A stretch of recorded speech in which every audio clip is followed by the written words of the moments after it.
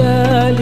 من بني علوي سلكوا في منهج النبوي برسول الله والبدوي